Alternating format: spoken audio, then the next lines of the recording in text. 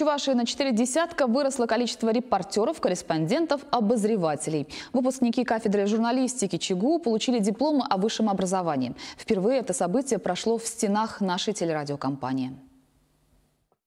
Всего в этом году с кафедры выпускаются 42 специалиста, 11 из них с красными дипломами. Среди отличников учебы Рифат Фаткулин. За годы обучения он успел поработать во многих СМИ Чебоксар, а также вступил в Союз журналистов России. За эти четыре года я и представить себе не мог, насколько изменится моя жизнь, насколько увлечет меня профессия журналиста. За эти годы я пробовал себя и на телевидении, и на радио, и в газете, и в интернете. Сегодняшние выпускники все чаще смотрят в сторону электронных СМИ, отмечает заведующий кафедрой журналистики Анатолий Данилов.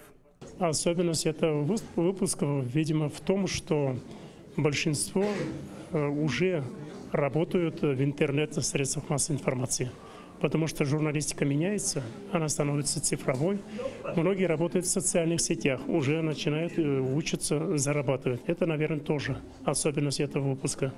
А какие качества необходимы молодому специалисту, чтобы добиться успеха в профессии? Ирина Игнатьева уверена, это должен быть смелый человек, всегда готовый развиваться и совершенствоваться всегда быть где-то, делать что-то, то есть быть максимально коммуникабельным, чтобы не было ни, ни одной свободной минуты, потому что чем больше мы делаем, тем больше у нас получается плодов. Сотрудники кафедры уверены, годы, проведенные в университете, для ребят не прошли зря. Многие выпускники уже нашли работу. Некоторых пригласили в СМИ из других регионов страны. Виктор Вавилкин, Михаил Солин, Вести Чебоксары.